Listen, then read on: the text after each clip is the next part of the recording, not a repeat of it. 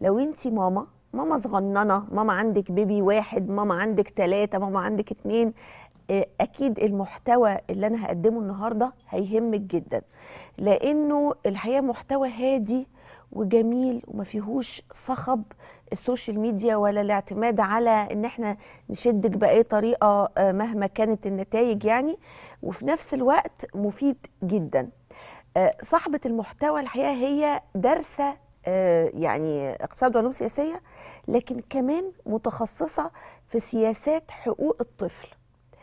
فانطلقت من المجال الواسع الكبير ده للمجال آه، لبيوت لبيوتنا. يعني اخترقت البيوت بشكل ناعم وجميل وهادي. والحقيقة أنا انبهرت بالمحتوى لأنه آه، لايق بقى على تعاليمنا وديننا وحياتنا وتقاليدنا بالرغم من إنها عايشة في دولة أوروبية وما أدراكم بقى الدول الأوروبية واللي بيحصل فيها وإحنا لازم يعني نقف كده زي الحيطة السد عشان نربي ال- الولاد دي تربية آه، صحيحة. أنا آه، ضيفتي الجميلة دعاء كارسون. كارسون. كارسون ده إيه؟ ده هي شكلها تركي والاسم تركي. إزيك يا دودو؟ الحمد لله يا حبيبتي. آه، يعني تسلميلي يا رب والرقي الجميل ده. جنبك إيه بس. لا والله قمر.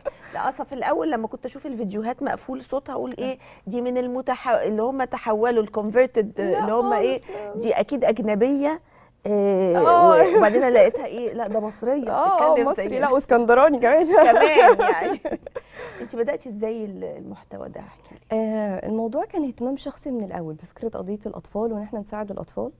فأول ما دخلت أنا دخلت علوم سياسية. وفي سنة أولى كان عندنا دايما أنشطة طلابية المرتبطة بقى باليونيسيف Save the Children الهيئات الدولية المرتبطة بحقوق الطفل فابتديت أتطوع فيها عادي بروح معاهم مشاريع أشارك في أنشطة. بعدين الموضوع ابتدى يكبر يكبر لحد ما في سنة ثالثه كلية كان في مشروع عندنا مع الكلية بالتعاون مع السفارة الإيطالية وهيئة إنقاذ الأطفال Save the Children عن منطقة بطن البقرة اللي موجودة هنا في القاهرة. آه. عايزين يعلموا الأطفال اللي هناك بطريقة مونتسوري ويعملوا لهم تدريب أو توعية لأن طبعا المنطقة هناك لما بتزوريها هي عبارة عن مش بيوت هي عشش متقفلة. أيوه. وطبعا معظم الناس هناك بتلجأ إن الولاد تبقى شغالة ما بتروحش مدارس. فقالوا إيه طبعا. إحنا هنستهدف المنطقة دي طول السنة ومحتاجين بقى آه، شوية من الطلاب اللي عندكم اللي دارسة شوية في حقوق الطفل تشتغل معانا وتساعد. حلوة قوي فدي كانت البداية إن أنا أهتم قوي بقى بفكره المونسوري والأطفال وتنمية المهارات وابتديت أتواصل مع ناس مختصين بمنهج المونسوري وكانت يعني الكلام ده كان زمان قوي بنتكلم من 12 سنة تقريبا. آه وبعدين في سنة رابعة كلية بقيت مسؤولة عن نموذج لنشاط طلابي عندنا في الكلية مختص بحقوق الطفل كان اسمه سينكرو وكان تابع للمرصد القومي لحقوق الطفل في وزارة التضامن.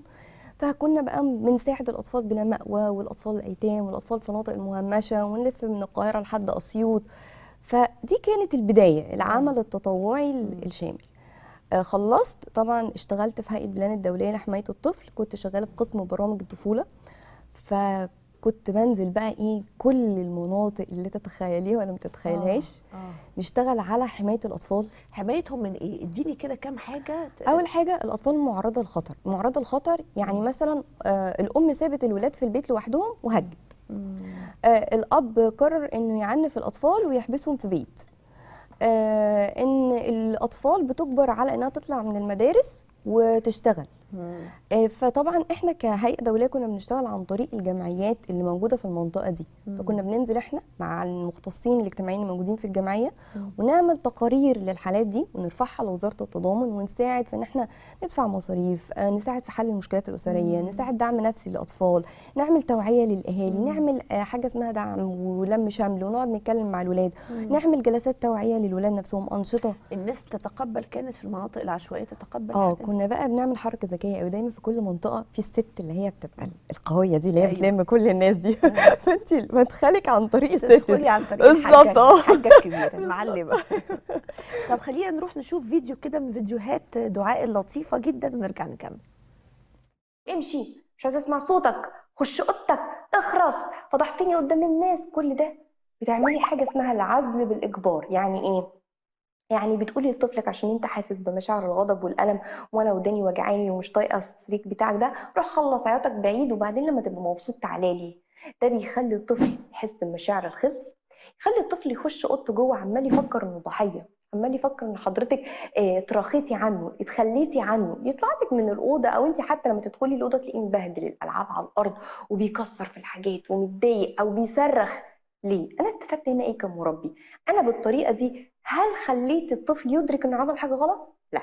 خليت الطفل يتضايق أكتر وأنا خليت الطفل يوصل له رسالة ان أنا برفضك وقت علمك وتأمري طفلك بالعزل ما تعزلوش. سيبيه يعيط بس خليكي جنبه.